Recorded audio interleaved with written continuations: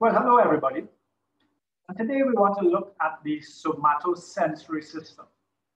What we want to do is we want to apply the four questions that we considered when thinking about sensory systems and see how they work within the context of the somatosensory system.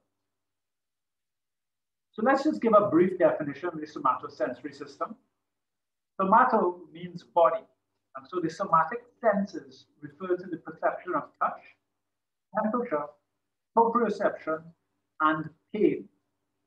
All of this information comes from receptors that are found within the skin, the joints, the muscles, and the viscera of the body. We'll be focusing today primarily on touch and temperature. So the first question, of course, is what is it?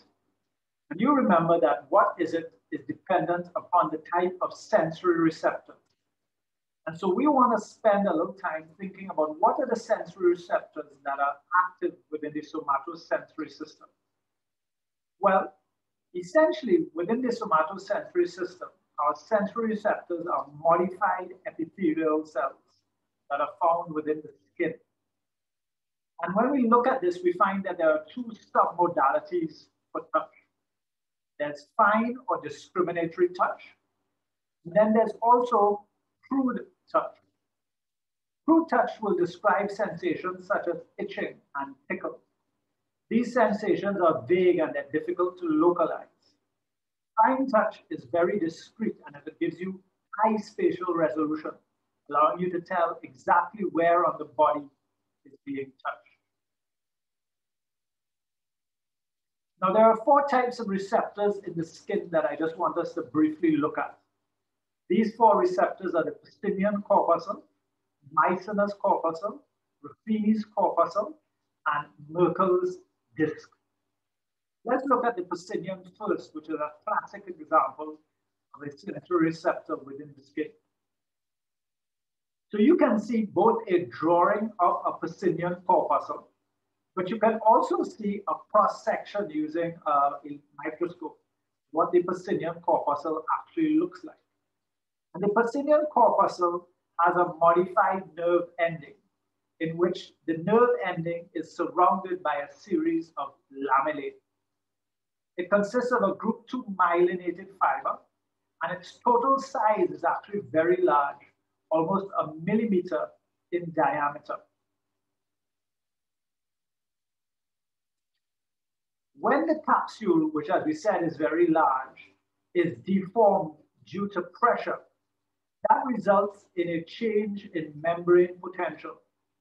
The result is sodium is able to enter the membrane of the nerve, leading to a generator potential. And if large enough, you get an action potential being fired in the group 2 myelinated nerve. Now, one of the unique features about the Pacinian corpuscle is this is a very rapidly adapting receptor. And that ability to adapt rapidly is actually a property of the fluid filled lamellae that surround the end of the nerve. This diagram demonstrates that.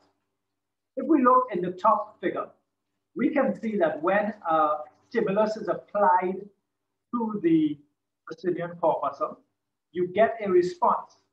But even though the stimulus is present, adaptation takes place very quickly the response disappears. However, when we remove the stimulus, uh, the same thing happens. We get a response that disappears very quickly. In experiments that have been done in which the lamellae have been removed, what we discover is it turns the Pacinian corpuscle from a fast adaptive receptor to a slowly adaptive receptor. And so this tells us that the presence of the lamellae, something about them enables the receptor to be fast adapting. And it has been hypothesized that the fluid presence in the lamellae is the thing that leads to the fast adaptation.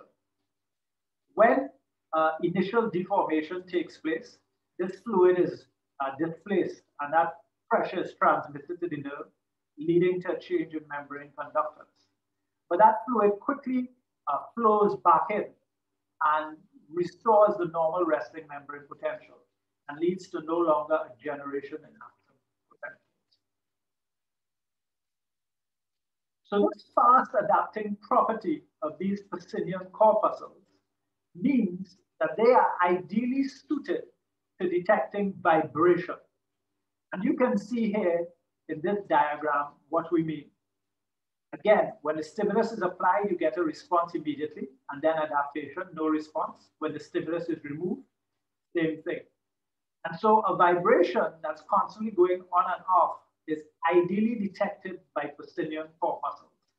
And that's exactly what this type of receptor is doing within the skin, detecting vibratory information.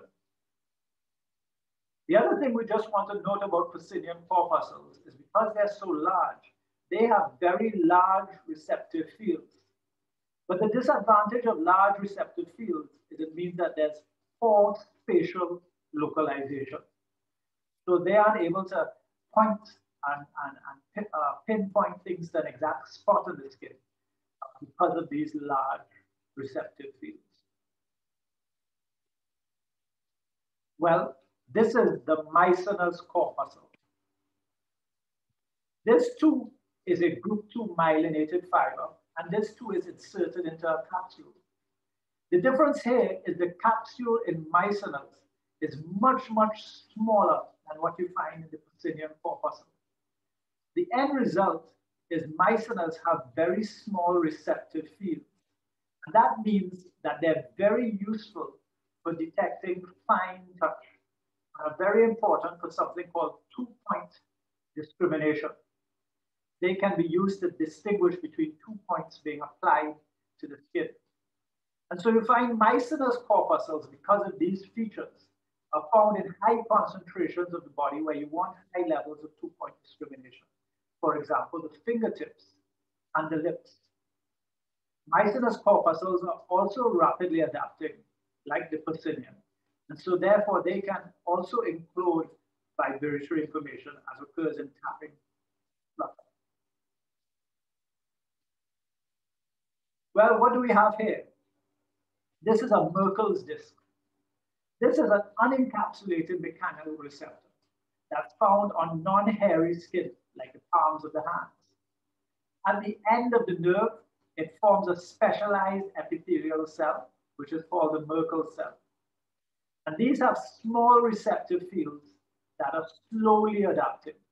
And therefore, we remember that slowly adapting receptors are important for telling us about the duration of the stimulus because they're small discs uh, and the nature of the disk uh, structure, receptor potentials are only generated if pressure is applied directly to the disk itself.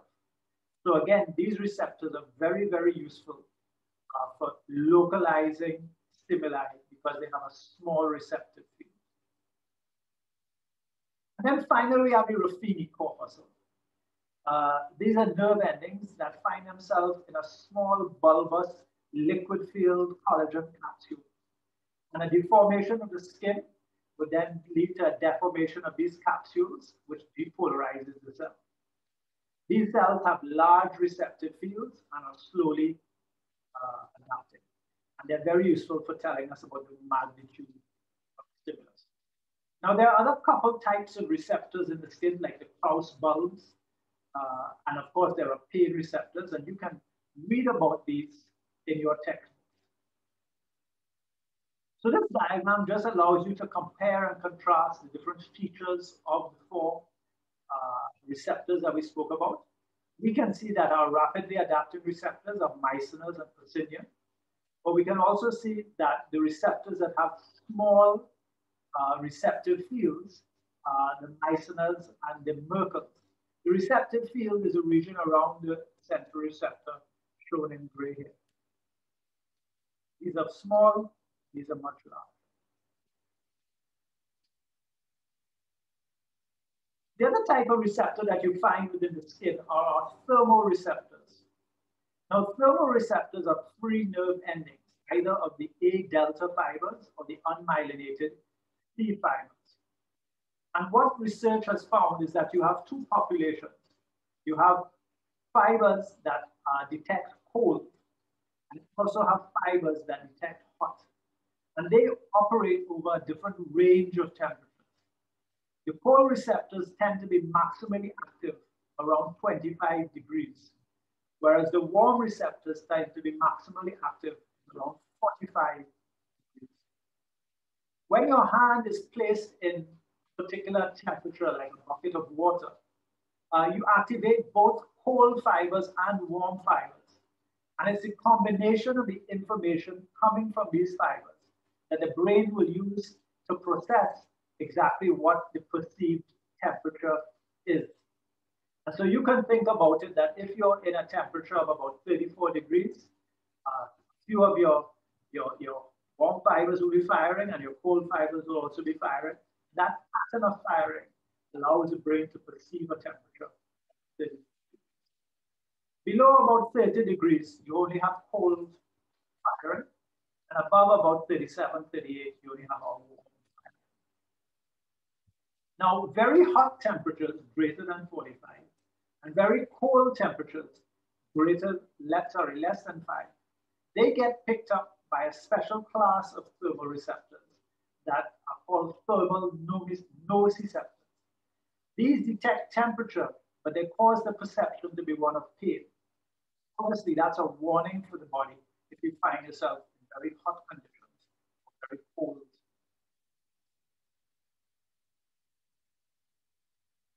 Thermoreceptors are extremely rapidly adapting. So you can imagine jumping into a cold shower.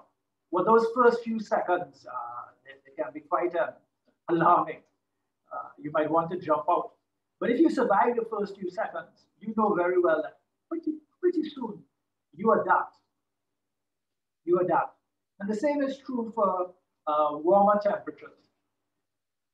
The other thing to note is that temperature, because it's so rapidly adapting, provides a background, background in change of intensity, like what we spoke about with the just noticeable difference.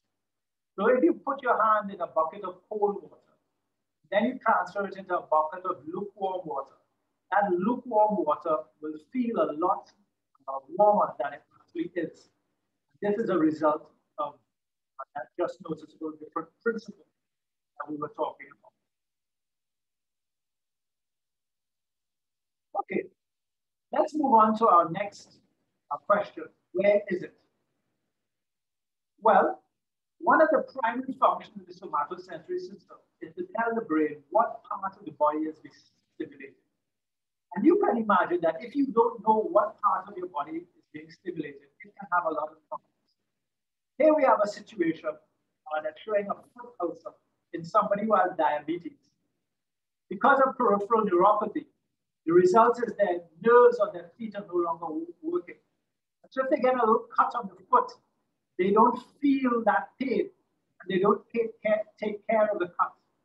And the end result is an ulcer can develop and they might not even be aware of it. And this can be infected and become gangrenous. And it's often what happens in diabetes when persons have have an amputation. As we discussed before, we answer where is it according to the label line code. Label line code. Now this gives us a pattern on the body, which we call the dermatomes, as you can see in this diagram here. Now, the dermatome refers to the body area innervated by the neurons for a single spinal nerve. So there are several spinal nerves that emerge from the spinal cord, go to different parts of the body. Each spinal nerve then becomes responsible for innervating a different portion of the skin.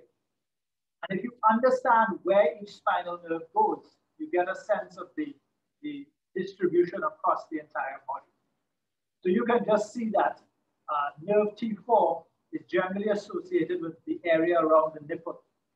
Nerve T10 is generally associated with the area around the umbilicus. Nerve S1 is generally associated with the inner part of the, the leg and the big. So if you're doing sensory testing in the body, and you find out that there's a lot of sensation here on the big toe area, you can say, well, uh, probably something's going wrong sorry, not S1, not S1. S1 is for the small toe. L5 is for the big toe.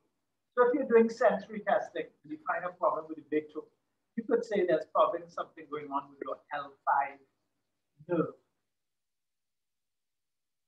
This idea of dermatomes uh, is highlighted by an unusual condition uh, known as shingles. Now, many of us might have had uh, the disease chickenpox, or maybe you had a vaccination and you never took, you never got the disease. But for those of us who had chickenpox, it's caused by a virus called herpes zoster. And as your body fights that infection, sometimes the virus goes and it hides within the nerve cells of a particular dermatome, uh, within the dorsal root ganglia. Later on, if the person becomes stressed or their immune system weakens, these viruses have the ability to emerge for the reinfection. But here you don't get chickenpox. You get a series of blisters upon the skin, but they have a unique distribution associated with the dermatome distribution. Because if for some reason the virus goes and hides in very specific localized nerves around one or two dermatomes. And so for those who have shingles, sorry, um, chickenpox, unfortunately, this is something that might happen to you in the future. Now, in thinking about where is it, we also want to talk about something called two-point discrimination. Two-point discrimination is the minimal distance in which you can perceive stimuli two separate events. Now, if you look at this diagram here, what do we see? Well, this is a sensory neuron, and this is the receptive field of that sensory neuron. If you apply two separate points within that receptive field, because anything within this field is detected by this nerve, the nerve will only consider that as one point. This is not two-point discrimination. Two-point discrimination is not going here The brain is perceiving this as one. However, if you have a situation where the two receptive fields overlap, when you apply the two separate points, the brain detects that and therefore perceives this two separate points.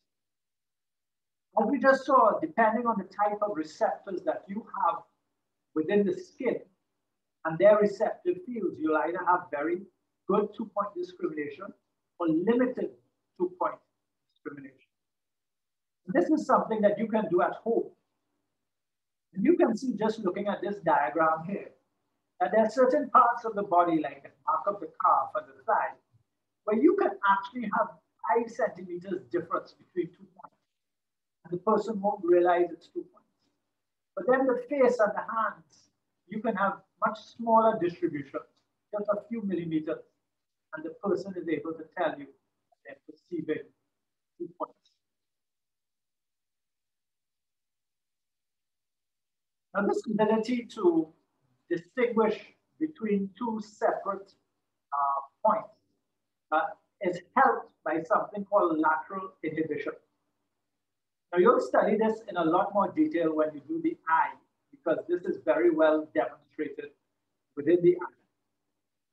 But in lateral inhibition, a stimulus, while activating the neurons directly in its pathway, sends inhibitory interneurons to the neurons next to it to shut them down and inhibit them. And what that does is that sharpens the perception and creates contrast. So let's look at that in work in this particular diagram. Here, a pin is applied or pressure is applied at a point. And the, the, the, the pathway that gets the most stimulus is neuron B. So the most excitation occurs through neuron B. As a result, neuron B not only sends a signal to the brain, but it also sends inhibitory interneurons to the pathways next shutting them down. The end result is what would have started off as a graded signal. As it goes up through the nervous system, the lateral pathways get inhibited And the signal stands out as a signal coming from B. and it helps the brain to localize the area of maximum uh, impact or maximum pressure. And this is a general feature of the nervous system because the nervous system wants to detect contrast and wants to be able to extract features from things that are coming towards it. Now this principle is found in this illusion here called the Mach bands, where as there's a change in color, that feature extraction is applied, and therefore every time there's a change, you get a sense that there's a, a line here. I just want you to do us some homework and some research for you to read up about Mach bands and see how lateral inhibition is being used to cause this greater sense of contrast a little bit of light here and a little bit of dark on the other side gives the illusion of a line occurring here due to lateral inhibition.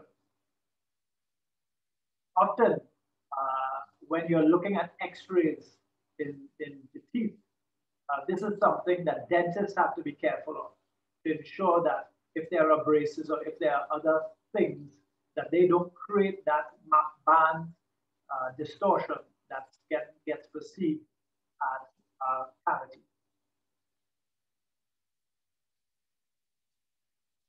Now, of course, in talking about where is it, we said we have to talk about the label line code. That means we have to trace the pathway from the receptor to the brain. Now, there are two definitive pathways that are important for our sense of touch. There are actually a couple more than two, but there are two primary pathways that we want to focus on. the first one is called the dorsal column pathway. And that pathway is important for what we call fine touch, two-point discrimination, and proprioception. The second one is called the anterolateral system, or the spinothalamic tract. And that carries information about pain, temperature, and food. Now, these pathways have unique uh, there's a unique anatomy to them that I want you to notice. All of them start with a first order neuron that enters via the dorsal root ganglia. And you should know from your anatomy that sensory pathways enter via the dorsal root ganglion and motor pathways exit via the ventral root ganglion. So in both cases, the first order neuron goes from the sensory receptor enters the spinal cord via the dorsal root ganglion. This here is our dorsal column. This here is our spinal thalamic tract. The spinal thalamic tract, as soon as it enters, it crosses to the other side. So it synapses with the second order neuron. And the second order neuron crosses to the other side of the spinal cord and then runs contralaterally through the spinal cord to synapse with the third order neuron in the thalamus. From there, the third order neuron goes to the cortex. This is in contrast to the dorsal column, which ascends on the ipsilateral side. And then up near the medulla, synapses in the nucleus cuneatus and nucleus gracilis. And from there, the second order neuron deficits crosses over to the other side and ascends to the thalamus, where it synapses with the third order neuron. And so what we see, one pathway runs ipsilaterally, that's the dorsal column, whereas the other pathway runs contralaterally, that's the spinal thalamic tract. And so you should be able to draw a table that compares these two tracts. We've seen that they carry different types of information. We've seen that they have uh, different uh, pathways. But we also see that there are some similarities. They both uh, consist of first, second, and third order neurons. So this slide just summarizes the type of information carried by the dorsal column. And that carried by the spinal thalamic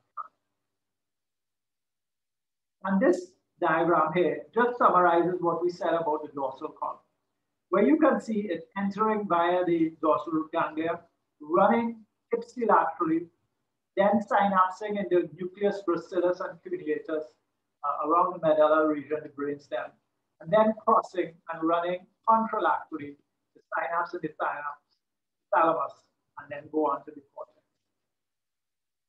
And this is in contrast to the anterolateral or your spinal thalamic system, which as soon as it enters the spinal cord, it processes to run contralaterally to the before interfacing with the order.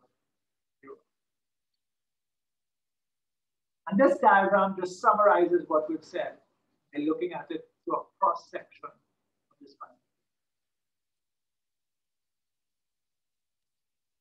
You would note that both pathways went to the thalamus. And in anatomy, you are going to realize the importance of the thalamus as a collection of nuclei. I just want to say here at this point that the thalamus is a relay station before the sensory cortices. And it collects all sensory information from the body except for olfaction. So all sensory information will go to the thalamus except for your senses. Okay, let's conclude by talking a little bit about cortical processing.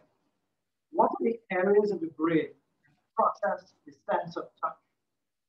Well, there are three areas that we want to talk about. The primary somatosensory cortex is found in the post-central gyrus, here in light blue, known as Brodmann's areas 1, 2, and 3. The secondary somatosensory cortex, uh, that's found on the superior bank of the lateral fissure, right here. And then you also have your somatosensory association cortex, which is found behind the primary somatosensory cortex in Brodmann's areas 5, 7. Now, the primary cortex has a very unique feature. Every part of the body is mapped onto a region of the primary cortex. That's shown in this diagram here. But what you will notice is the distribution of the brain is a little bit different to the distribution of the body. A lot more of the brain tissue is given to the face and the hand. And is a lot less is given to the back and the arms and the legs. More sensory information comes from the tongue, face, the hands than comes from the rest of the body and the trunk. And so this is what you look like on your brain. A little bit distorted, but it's what we actually all look like. The primary somatosensory cortex has six layers, as you know. And this creates vertical columns, each containing about 10,000 neurons. And each column has a different thing that it's doing. It's detecting the sense of um, sensation, but some are oriented to direction, and some are oriented to angle, and some are oriented to pressure. And the body takes all of that information and processes it and joins it together to make sense of it. The association processes they are important for complex associations. So whereas the primary somatosensory cortex is just taken from a very small region of the body, the association cortices are now pulling together information from much larger areas of the body. And so if you stimulate these areas, the person might feel like an object is touching them or a knife is touching them. And they don't only integrate information from the sense of touch, but they also get information uh, from other senses and they integrate it all day. The result is you can get some very, very strange disorders if your association cortex gets damaged. I want you to look at these images here, and I just want you to do a little bit of research. This is a situation where a, a patient was asked to copy these diagrams, and this is what they drew.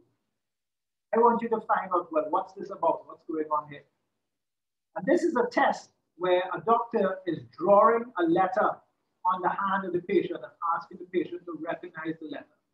If the patient cannot recognize the letter, I want you to find out what part of the brain is damaged.